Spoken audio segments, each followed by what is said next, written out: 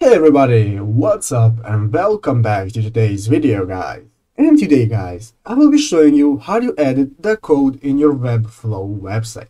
So yeah guys, make sure you watch this quick and easy video till the very end and follow my steps correctly. So you can make sure this works the same for you and that you can do this yourself. But yeah guys, let's get straight into it. The first thing you want to do guys is go ahead and open up the official webflow.com website right here and log into your account.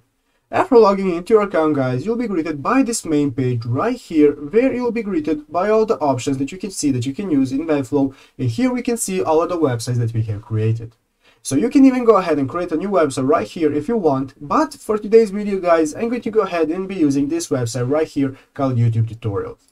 I'm going to go ahead and open up the website by clicking on it right here, clicking on Open Designer, and now this will open up this website in the page in uh, editing mode. What we want to do is go ahead first and switch to uh, uh, Design Control by clicking on it right here in the upper right corner. Click on Design Control and then click on Design here. And now we will be open the Design menu where we can go ahead and edit our website.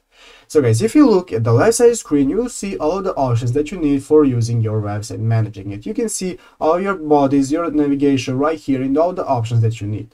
So let's say that we want to edit the code. It's very easy and you only need a couple of steps. The first thing you want to do guys is go right here into the upper left corner and click on the plus button right here called add elements. Clicking on add elements guys, now this will open up this new menu where you can add multiple options such as buttons, text and so on.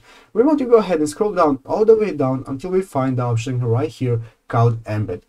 As you can see here guys, you can go ahead and add the embed option, but you will need an upgraded plan. So you can go ahead and upgrade your plan by clicking on the uh, page right here if you have not upgraded already. But yeah guys, you will need an upgraded plan. As you can see, I did not have an upgraded plan, so I cannot add it. Add it.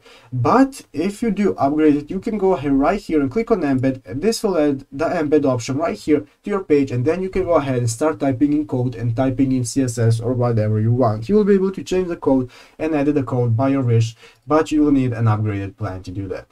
But yeah guys, basically that's how you do it. I hope this video was helpful. If it was, make sure to leave a like and subscribe to the channel. So guys, thanks for watching, take care and bye.